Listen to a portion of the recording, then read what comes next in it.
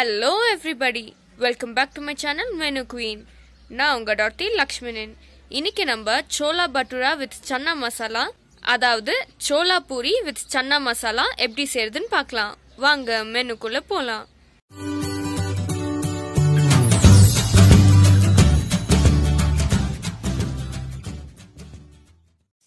பட்டூரா செய்ய தேவையான பொருட்கள் நான் இரநூறு கிராம் மைதா எடுத்திருக்கேன். கால் டீஸ்பூன் உப்பு கால் டீஸ்பூன் சோடா ஒரு டீஸ்பூன் சுகர் நான் இரநூறு கிராம் மைதா எடுத்திருக்கேன். அதனால ரெண்டு டீஸ்பூன் தயிர் எடுத்திருக்கேன்.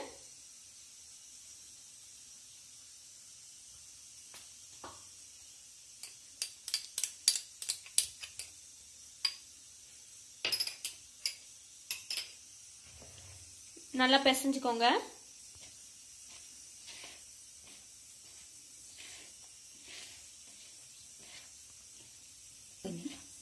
தேவையான அளவு வெதமான தண்ணி ஊத்திக்கோங்க.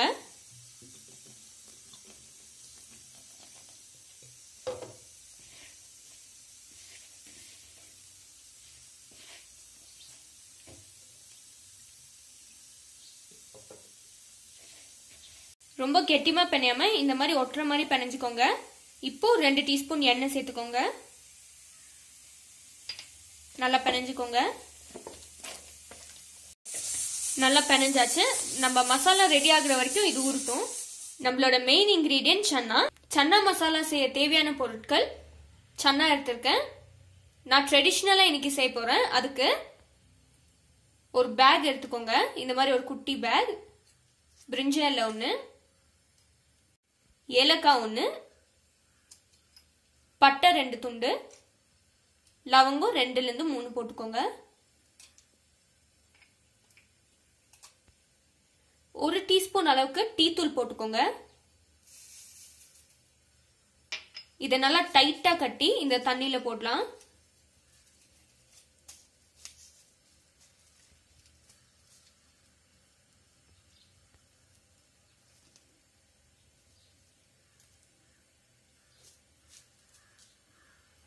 நான் நைட்டு ஃபுல்லா சன்னாவை ஊற போட்டிருக்கேன். இதை ஒரு ரெண்டுல இருந்து மூணு விசில் விட்டு எடுத்துட்டு வந்துடலாம். சன்னா மசாலா செய்ய சன்னா பவுடர் நம்ம அரைச்சிக்கலாம். பேன் சூடான உடனே நாலுலேருந்து அஞ்சு காஞ்ச மிளகா ஒரு டீஸ்பூன் மிளகு ரெண்டு பட்டை துண்டு நாலுலேருந்து அஞ்சு ஏலக்காய் ரெண்டு டீஸ்பூன் தனியா.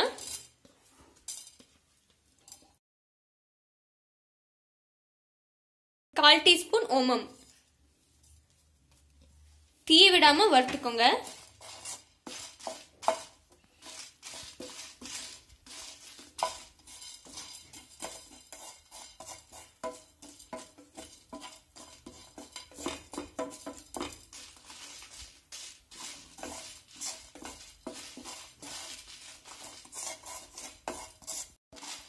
ஒரு டீஸ்பூன் சீரகத்தூள். இதெல்லாம் நல்லா ஆற போட்டு அரைச்சி எடுத்துக்கோங்க. ஸ்டவ் ஆஃப் பண்ணிக்கலாம். ஸ்டவ் ஆஃப் பண்ண பின்னாடி காஞ்ச மாதுளை கொட்டை ஒரு டீஸ்பூன். மசாலா அரைச்சாச்சு. சன்னாவும் வேக வச்சாச்சு. இந்த பேக் எடுத்துடுங்க. இப்போ நம்ம மசாலா எப்படி செய்யறதுன்னு பார்க்கலாம். நம்ம சன்னா வேக வைக்கும் போது ஸ்பைசஸும் போட்டு வேக வச்சிருக்கோம். நீங்க அப்படி பண்ணலன்னா இப்போ போட்டு வறுத்துக்கோங்க. நான் பேன்ல எண்ணெய் ஊற்றி வச்சிருக்கேன். சூடான உடனே தேவையான அளவு இஞ்சி நல்லா நறுக்கி சேர்த்துக்கோங்க. தேவையான அளவு பூண்டு.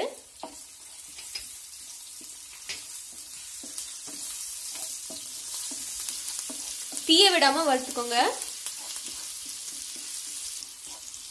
ரெண்டு வெங்காயத்தை அரைச்சு சேர்த்துக்கோங்க.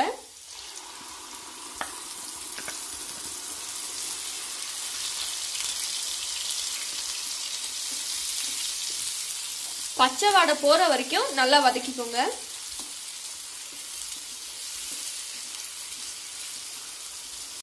பச்சை வாடை போயிடுச்சு. தேவையான அளவுக்கு கருவேப்பிலை.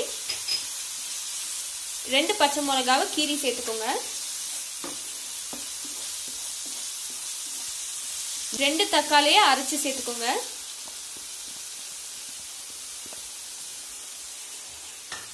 பச்சை வடை போகிற வரைக்கும் நல்லா வதக்கிக்கோங்க. ஒரு டீஸ்பூன் மிளகாத்தூள். இதில் பச்சை மிளகா போட்டிருக்கோம் மசாலாவில் காஞ்ச மிளகா போட்டிருக்கோம். உங்கள் காரத்துக்கு ஏற்ற மாதிரி மிளகாத்தூள் சேர்த்துக்கோங்க. பச்சை வடை எல்லாம் போயிடுச்சு. தேவையான அளவுக்கு உப்பு சேர்த்துக்கோங்க. இந்த ஸ்டேஜில் நம்ம அரைச்சி வச்ச சன்னா பவுடரை ரெண்டுலேருந்து மூணு டீஸ்பூன் சேர்த்துக்கலாம்.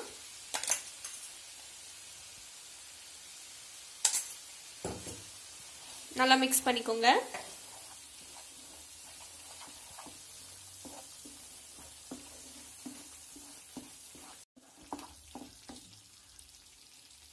இப்போ இந்த ஸ்டேஜில் நம்ம சன்னாவை சேர்க்கலாம். சன்னா எப்படி வெந்திருக்குன்னு பாருங்க.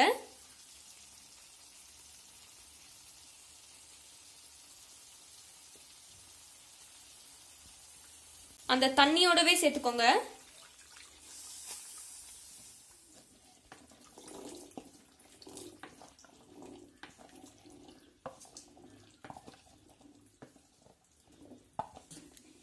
இந்த கொஞ்சோண்டு தண்ணியை கார்ன்ஃபிளவர் கலக்க எடுத்து வச்சுக்கலாம்.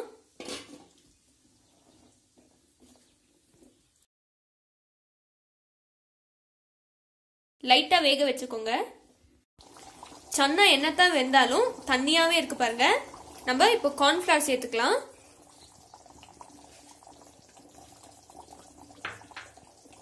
நல்லா கரைச்சிக்கோங்க. ரெண்டு நிமிஷம் நல்லா கொதிக்கட்டும். இப்போ கரைச்ச கார்ன்ஃபிளவர் தண்ணியை சேர்த்துக்கலாம்.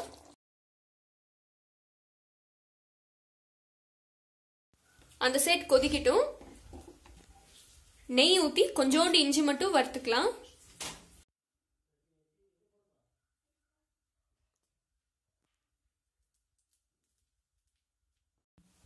நெய் சூடாயிடுச்சு இஞ்சியை போட்டு வறுத்துக்கோங்க.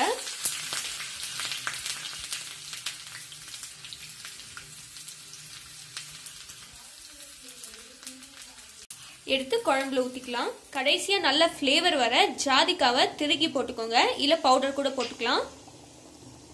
மேத்தியை கொஞ்சோண்டு கையில் நசுக்கி போட்டுக்கோங்க.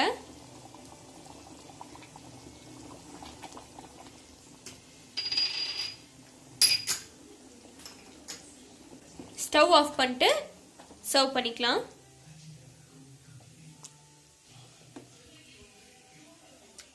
இப்போ சன்னா மசாலால வறுத்த இஞ்சியை போட்டுக்கலாம். நெய்யோடு ஊற்றிக்கோங்க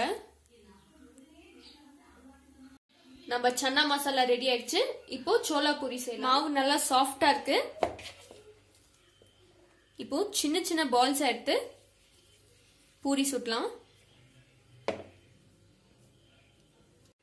மைதா தடவுறீங்கன்னா தடவிக்கோங்க. பட் மைதா தடவுனா எண்ணெய் ஸ்பாயில் ஆயிடும். அதனால எண்ணெயிலே நம்ம செஞ்சுக்கலாம்.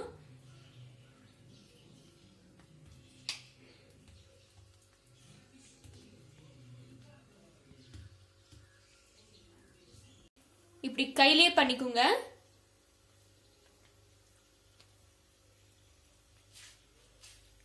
எண்ணெய் நல்லா சூடாயிட்டு இருக்கு இப்போ நம்ம போட்டுக்கலாம்.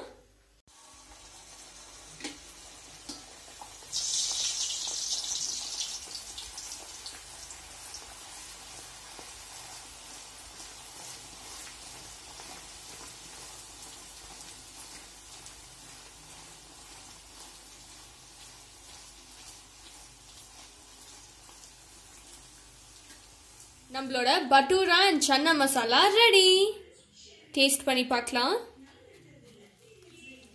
ரொம்ப சாஃப்டாக இருக்குது பீட்டா பிரெட் மாதிரி நல்லா பிரிஞ்சு வந்திருக்கு பாருங்கள்